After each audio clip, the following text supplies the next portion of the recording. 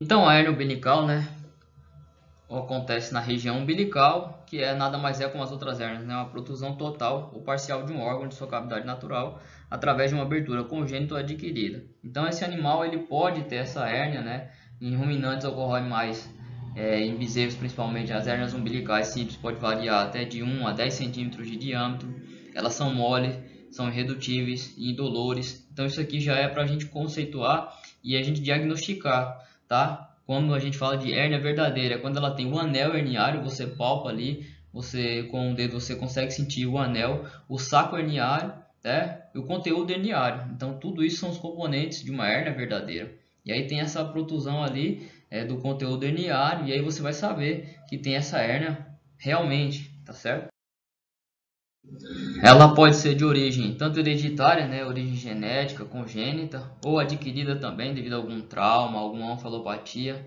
Tudo isso pode ocasionar a ocorrência das hérnias, né?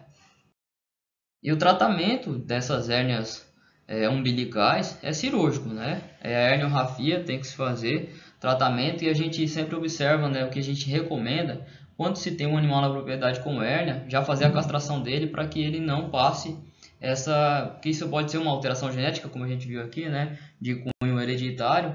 Então, a gente para evitar passar para os outros animais, os animais que tiverem hérnia já sejam castrados, né, no caso dos machos.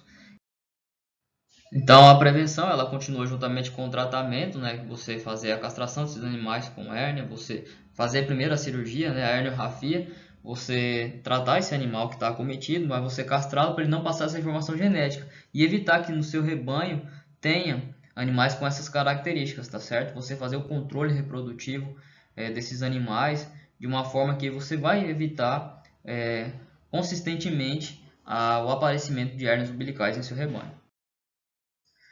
Então, pessoal, chegamos ao final de mais uma aula. Essa é a literatura utilizada para essa aula e recomendada para vocês estudarem, além dos artigos que eu sempre passo. Então, até a próxima aula, pessoal.